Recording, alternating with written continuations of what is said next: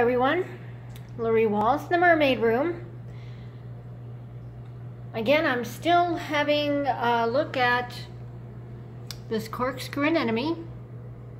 Now I got this, it's a 20 gallon innovative marine aquarium. We're all set up here with the uh, Prime AI light We've got the Ghost Skimmer, skimming crazy strong.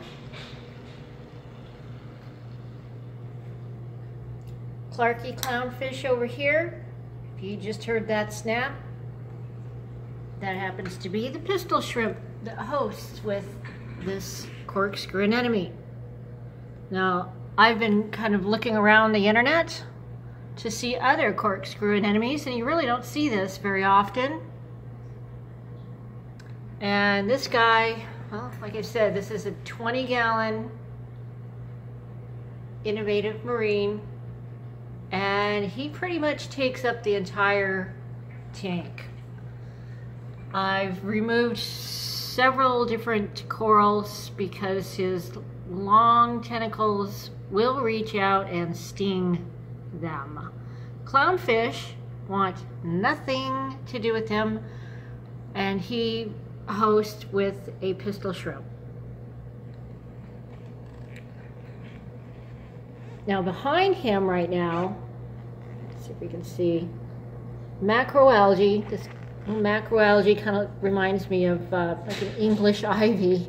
Has these cute little round leaves on it, and it and it's a real thick blanket of ivy that's growing up that rock right there.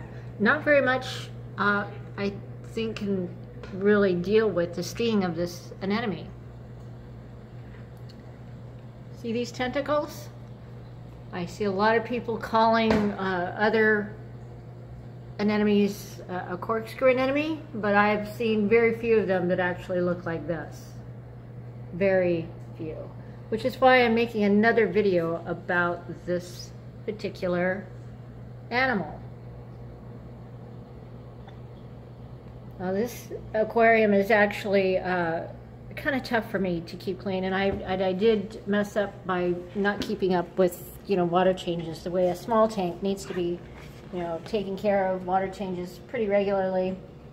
I really slacked off on this, so there's uh, kind of a brown film of diatoms and whatnot growing in here,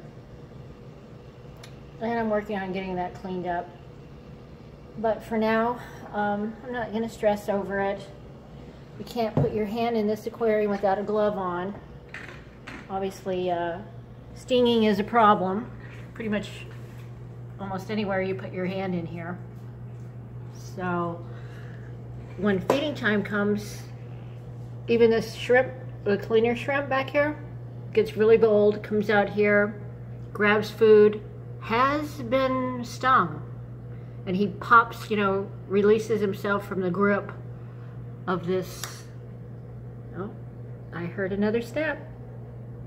I think that the pistol shrimp does not like when I'm messing with the tank, even close by. He's, I don't know if that's a warning snap from him or sounds like he's begging. He might be hungry or it's a warning.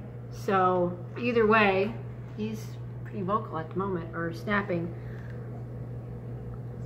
Doesn't use a mouth to do that. He uses his little claw, and it is a cute little red pistol shrimp, but uh, I don't think we're going to get a glimpse of him. Oops, sorry.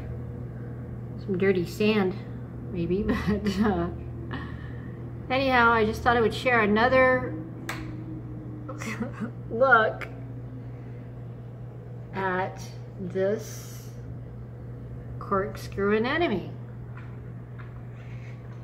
He was already hosted with the pistol shrimp when I purchased him and brought them right here, dropped them in the front of the uh, sand area and that shrimp pushed the body he was all balled up, you know, he was not happy. I had no idea it was going to unfold itself to this great big space, using up the basically the most of this 20 gallon aquarium.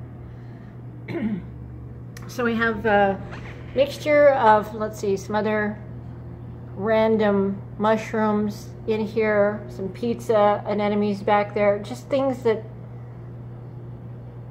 uh, I was hoping would be able to withstand the stinging. Oh, look at this. Yeah, he's he's touching record Ricordea. Ah, see, I thought I moved him far enough away, and I really haven't seen that happening. But this is this is a dangerous anemone. Look at him. Oh yeah, he's like, oh, I'm just gonna hurt you. Oh my goodness. Oh, and part of his leg popped off. Actually, I have been cleaning in this aquarium before, and ends of these very fine tentacles have gotten caught up in a rubber hose or something I was siphoning, and then they just break off. So I, I don't know what to say about it. It's just unexpected to have this in my aquarium, and, and I'm hoping that people will find this interesting because you're not going to see this very often. Well, I have a hard time finding any. So enjoy. Have a wonderful weekend. Thanks for stopping by.